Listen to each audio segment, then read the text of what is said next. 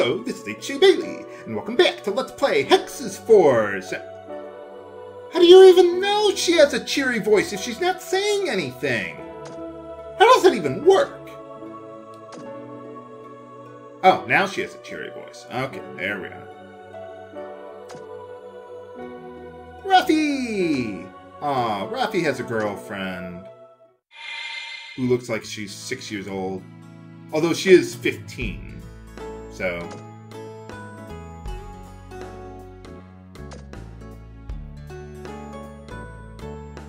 Well, maybe if we had something other than lizards to hunt around here. And for once, we have a female protagonist who doesn't have a chest the size of her head.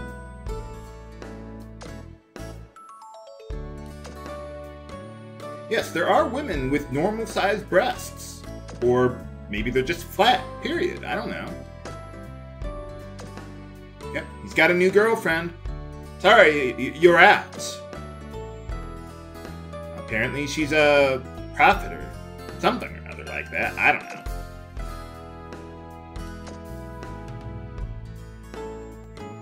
Prepare, preparing what? Oh, beds. Why do you have so many beds in your place if you're ready for us? What is this, a hotel? Maybe it's a fancy orphanage. I don't know. Anyway, now we're starting phase two to take on the next monolith at Nervel. Where did we go anyway after the Tower of Judgment? Oh. You were teleported, just like every other time. Hey, alright, we made it to uh, Soleil Lake. Or Lake Soleil, however you want to do it.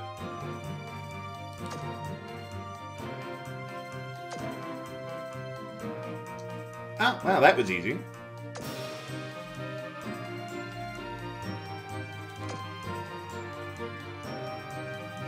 Sounds like a plan.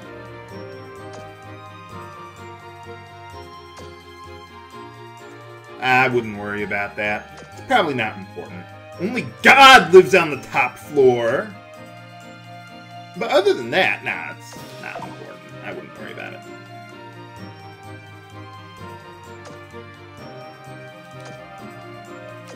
Okay, let's go. Why do you keep on winking at me? Don't answer that, viewers.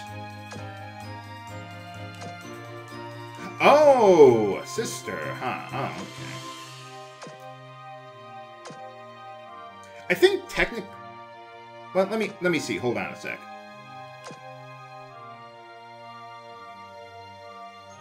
Yeah, I wonder if uh, the whole. Uh, well, no, no, no. You know what? I'm going to uh, save that for later. I don't want to spoil the plot. Well, thanks. So now what I'm going to do is I'm going to clear all the enemies in the area, and uh, I'll be right back. Okay, we're back. So let's go start at the top and work our way down as far as treasures go. Now, after killing all those enemies, one thing that happened was I used up... Oh, I also used up my Blazecane.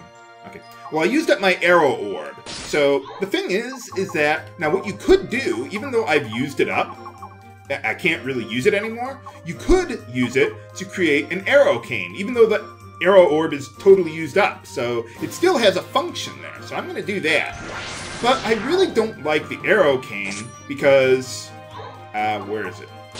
Uh, yeah, it's a red aspect, not a white aspect, which is what I want. So what I'm going to do is just make that into an aero cane, and then you can get 500 force points out of it. So even your dead uh, yeah, even your dead uh, orbs can still be useful to you. It's not like you just use them up and then they're gone and then that's it. So I really like how they do that. Let's see, for a Blaze Cane, I need an Igneous Orb. And then we make that. Aha! Okay, now we got another one there. So, yeah, I'm almost out of my uh, Hydracane too. That is one thing I really like about what the, how this game handles those spear effects or consumable battle items. They're powerful enough to be useful, but they're not so powerful that you'll just use them all the time and the game will be boring. Anyway, here's a harvest point. Aw, man. Oh well. We got shiitakes from that one. Uh, you can also rarely get a mushroom called matsutake, which is, this is the only way in the game to get them. It's a rare drop, but it's not that rare. So sooner or later, you'll probably get one from it, and uh, you need that in order to do a side quest later on. But I'm, uh, yeah, I'll worry about that later, not right now. So, I'll, I will show you a solution, viewers.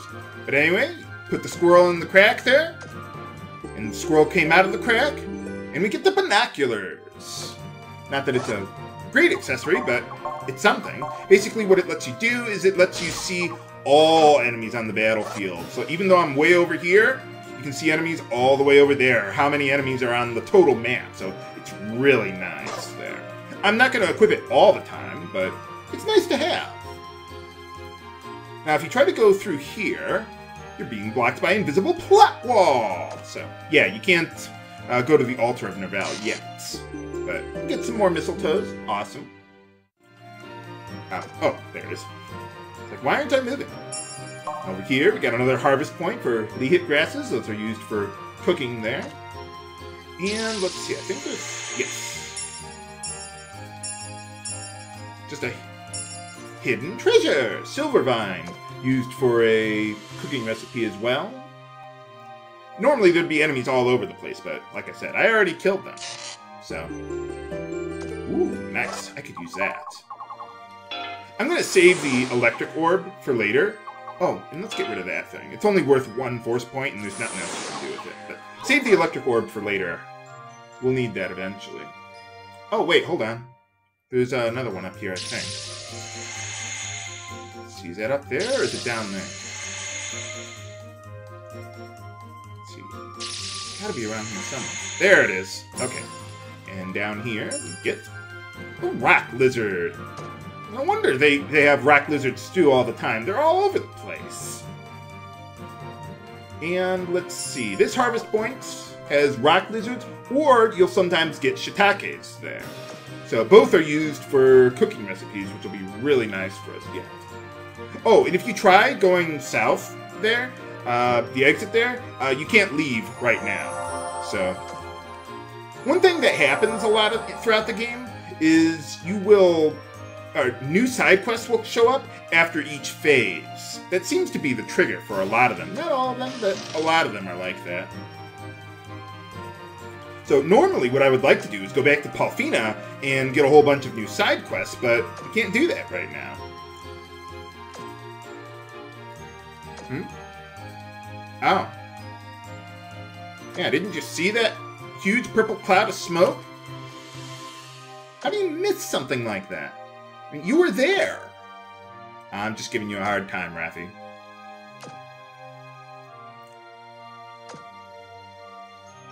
Oh, good job, Luffy. In time, you will call me Master. No, just kidding, viewers.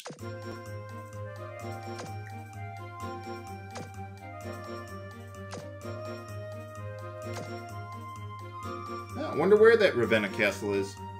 Eh, I wouldn't worry about it. Probably not important. Why?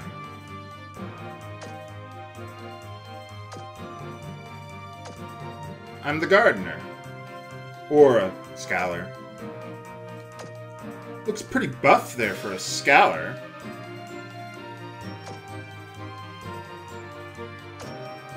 Maybe he just uses the force to give him a nice six-pack. Holy cow. Wish I could do that, but sadly, I cannot. H.C. Bailly does not have the body of a Greek god.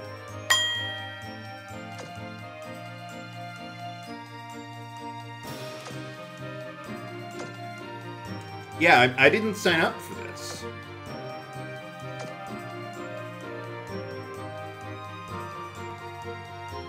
That is true. How humble. Yeah, exactly. you're probably right there, Raffi. Uh, you didn't answer my question. You just kind of trailed off.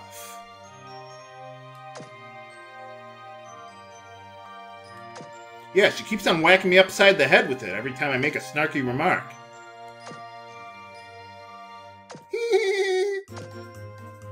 We're gonna go on adventures and you'll probably get brutally murdered!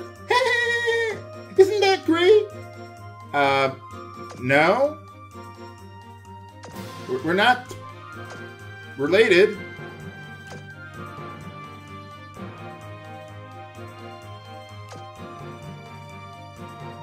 Oh, that works. Just call me by my name. CC! C2? No. No. Hooray! I have a new big sister. Oh. What are you having for dinner?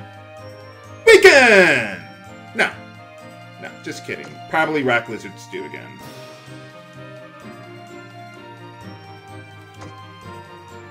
Don't you like food? Maybe they got some fish for you. No. No, that's no.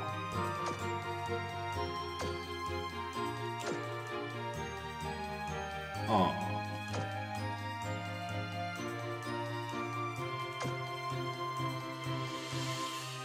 Well, now you have. What are you doing out here in the middle of nowhere, anyway? And you have no... Well, I guess you got a lot of resources, but whatever. There's a lot of harvest points here in Lake Soleil.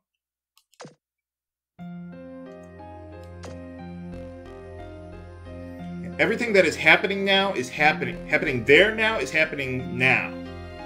We're at now now. No.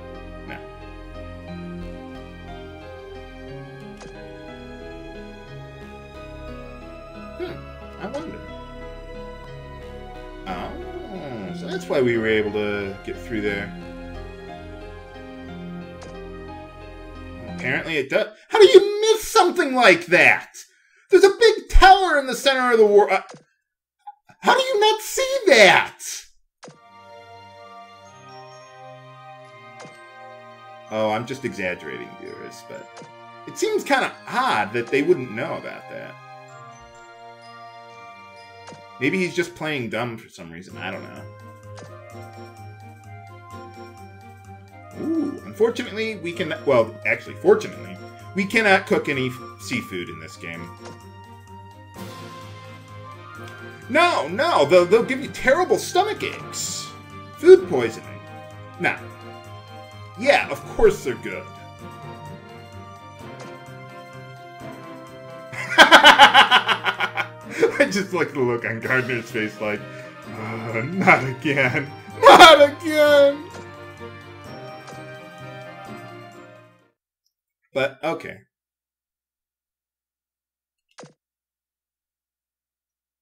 I am Vishnu, the Destroyer! Or, I am Virtus, the Destroyer.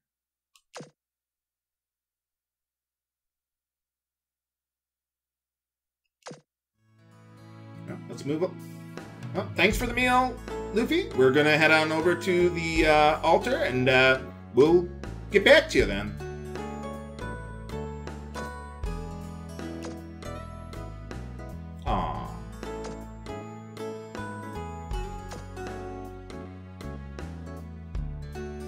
Oh, all of us?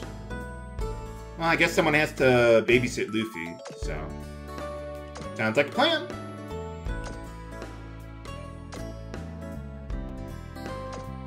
Better to eat too much. well,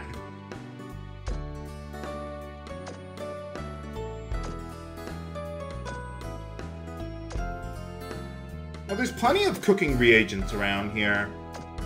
Just gotta learn how to cook.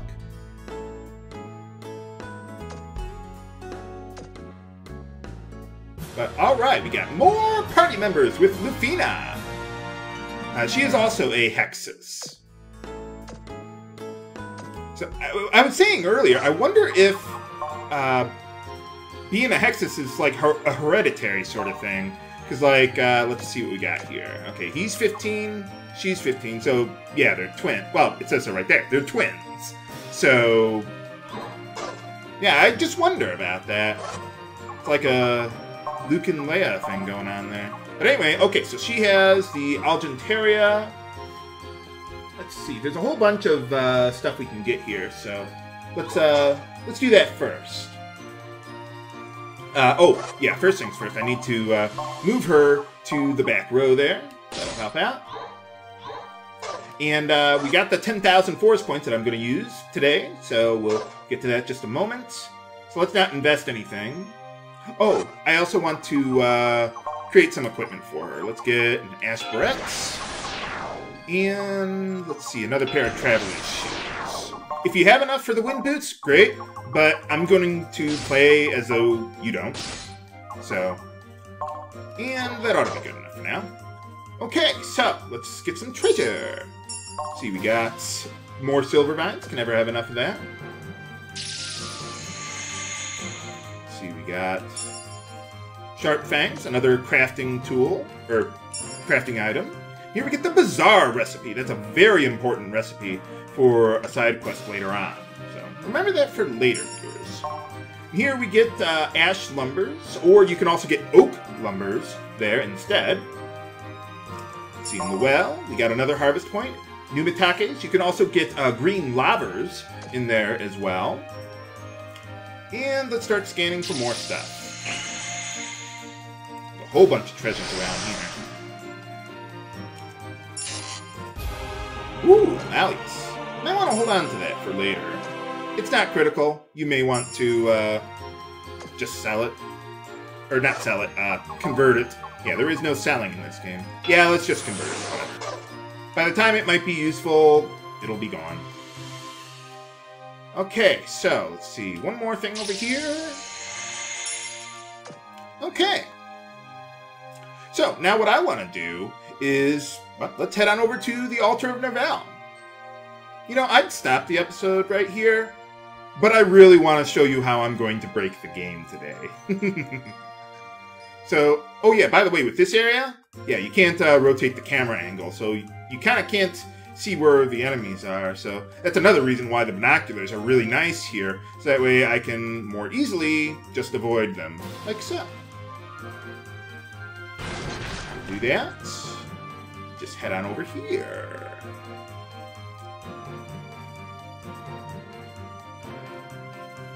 Well, let's see what's going on at this place. This is where the next monolith is, huh? Well, of course! Of course there's monsters everywhere! It's like mines in an RPG. It's like they always have uh, monsters in them. Has, has a mine ever been used for its intended purpose in an RPG? I mean, any RPG, Japanese, Western, whatever. I've never seen that, like, ever. Just as Count Dooku predicted. I mean, uh, uh. Sorry, that's the best uh, General Grievous impression you're gonna get from me. I only do Palpatine. Grievous, not so much. Oh.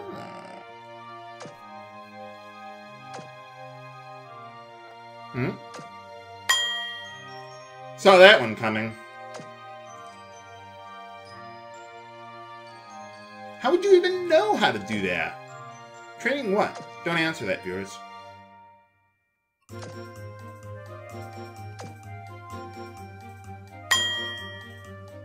Yeah, I'm older. Once you hit 17, that, that's it. Your energy goes. It's gone.